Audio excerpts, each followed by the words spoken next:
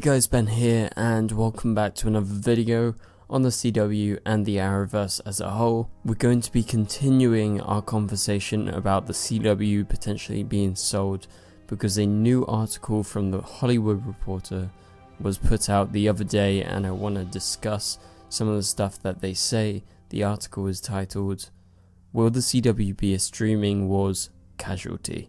So if you do go on to enjoy the video, please be sure to leave a like and a comment and subscribe if you're new so you don't miss any DC TV videos later this year. Okay, so I'll leave the link in the description below to the Hollywood Reporter article we're going to be going over in this video. Basically, a lot of this article does go over the same stuff that we talked about the other day. However, there is some more interesting information within inside the article that talks about it potentially being a casualty of streaming wars, but more specifically about if it gets bought out by Nexstar, the company that is in talks to buy the CW, and what that could actually mean. So, so a lot of the article, as I mentioned just before, we've actually kind of gone over. So I don't want to go over absolutely everything, but I will read out snippets of the article. So this is how the first bit goes. For Viacom, CBS, and Warner Media, the deal would give them much needed cash that they need to invest in their own streaming services, Paramount Plus and HBO Max, and multiple sources tell the Hollywood Reporter that any deal is likely to include a programming agreement that would see a Nexstar controlled CW committed to buying programming from their respective TV studios. So basically, that would mean Warner Media and CBS would continue to make CW shows and Nexstar would be forced to continue making the shows. And so that is kind of the big question of this article is what will the CW's content look like if they were to be bought out by this specific company? Because this company Nexstar has stakes in the CW already. Like it has affiliations with the network basically not stakes. And the article continues and basically says that for Nexstar it would be a big acquisition if they bought the CW because they don't have that national reach right now that they specifically want, especially as well as their digital side of things. And then they go on to say sources say a notable piece of the CW deal would also be local. Nexstar already is a critical station owner for the Mark Pedowitz run CW owning the network's New York, Los Angeles, Dallas, and Houston affiliates, among others. The CW has eight owned and operated TV stations of its own, including stations in critical swing state markets like Detroit, Michigan, Tampa, Florida, Atlanta, Georgia, and Philadelphia and Pittsburgh, as well as major markets like Seattle, Washington, and the Bay Area. For a company that has long leaned on political advertising, acquiring those stations would mean election year advertising bounties. So basically, what the Hollywood Reporter is getting at here is they're going to lean into the political side of things. And now that wouldn't affect the CW's programming, so it wouldn't affect the shows, but basically, you might see like more political ads and you know a change of you know when programming isn't on, you might see more political like segments that they will include from their other affiliates that they basically own. So it's kind of confusing the way that they report it and they word it because it actually doesn't affect the Arrowverse and our specific shows as a whole, but it affects the CW network and what it shows in the time where it doesn't have scripted programming on. So basically, this company is making money off of the political environment and how polarized things are right now, and this would mean that the CW would somehow be a little bit more involved in that kind of world, which right now it isn't really because it's just run by Warner Brothers and CBS, and they don't really have like a big stake in the game apart from you know a couple of news outlets that they own. But this next bit is interesting. So the Hollywood Reporter goes on to say, but for the CW, it also raises serious questions and concerns about the future of its programming lineup and strategy, as well as its digital ambitions.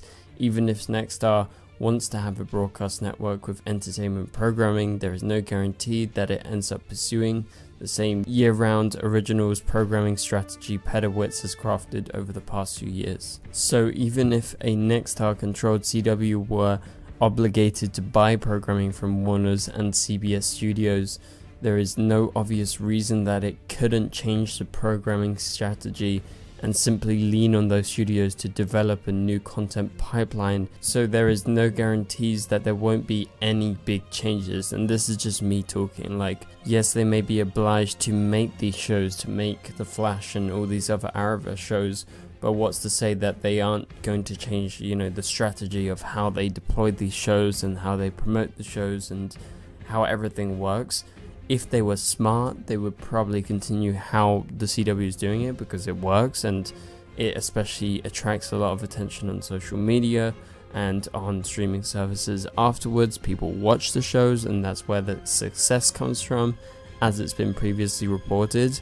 But if they're not smart about it, then they would change it up and maybe they wouldn't put the same emphasis that the current owners and operators of the CW are doing and maybe they would lose some of that attention that they've got over on social media and other platforms. And it's been said that the CW and its online adventures, like with their app and their website, has made actually more money online than on TV with adverts. So if Nexstar overtook the CW and took over, you would definitely see them pushing that because it seems like everyone here in this situation, Nexstar Warner Media and CBS are all looking to try and boost their profits up in their own different ways.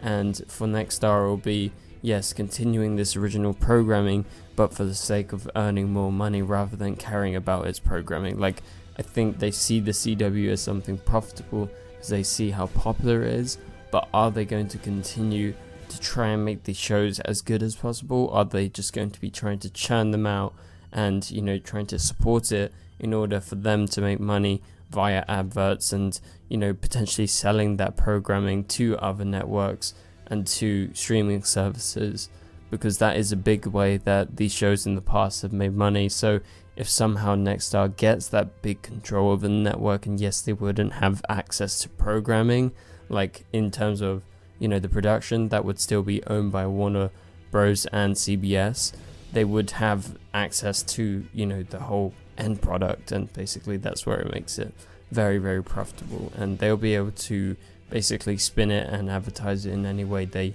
see fit so it could spell bad news for our Arrowverse shows. However I'm going to say I think they're going to stick with what they're doing right now. And the only reason I say that is because I really do think it would be completely stupid of them to kind of take a reverse turn on what they are doing right now because it's evidently quite successful. And yes, CBS and Warner Brothers want to make more money, and that's why they're trying to sell this bigger stake in the company. But they're not letting go of their production rights because they know that what they've got here is really good.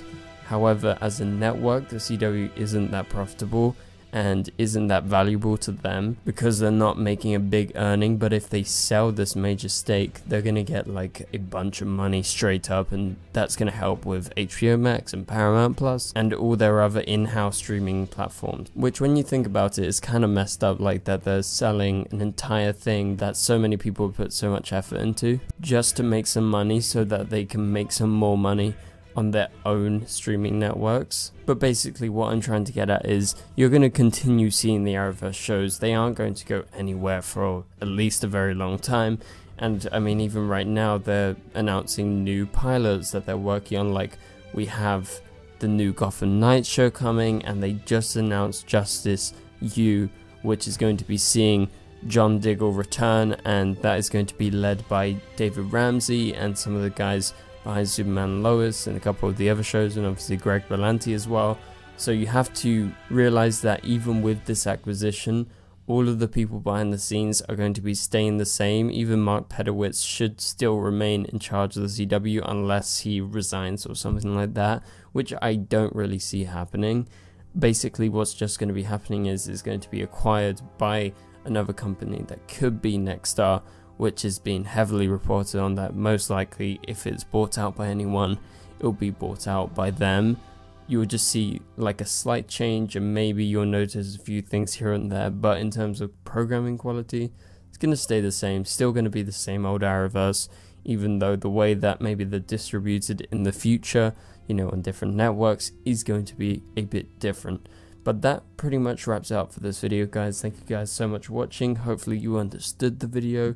It's a little bit confusing with the way that it's been reported, but I think we can kind of wrap our heads around it a little bit. And if any more development comes in over the next few weeks, over the next few months, however long it takes for this to actually go through, and if it does go through, we'll be sure to continue making videos about it as we get updates. So that pretty much does it. If you did enjoy the video, please be sure to leave a like and a comment, really helps out the channel. Subscribe and turn on notifications to not miss any videos and you can click on the top right corner of the screen to watch my latest video. But for now, thank you guys so much for watching, and I'll catch you guys later. Goodbye.